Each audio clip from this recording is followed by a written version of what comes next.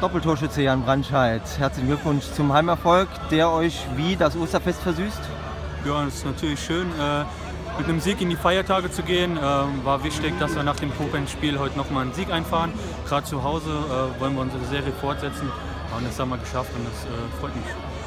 Ja, lass uns mal auf die Tore schauen. Das 1 zu 0, zu wie viel Prozent ja, gehört das im Grunde dem Iderer Torwart? Ja, das war ein brutales Ding. Also ich glaube sogar Oli Kahn oder so hätte das Ding nicht gehalten. Nein, Spaß beiseite. Äh, was soll ich sagen? Ein normaler Torhüter oder ich weiß nicht, ob er einen schlechten Tag hatte oder so, ne? aber ja, das Ding ist drin, wie ist mir eigentlich egal.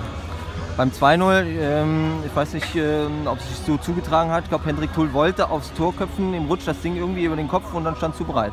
Ja, ich habe äh, darauf spekuliert, dass der Ball äh, lang kommt.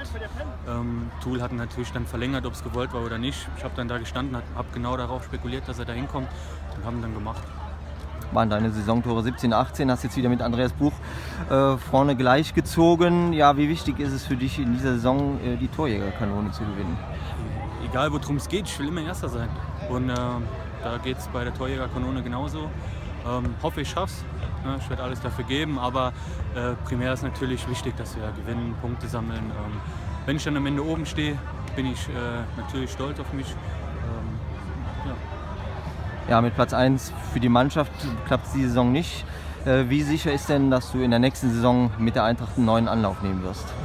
Ja, also die Gespräche laufen zurzeit. Ich denke, da gibt es bald was äh, zu vermelden, äh, wie es weitergeht und ähm, dann wird man davon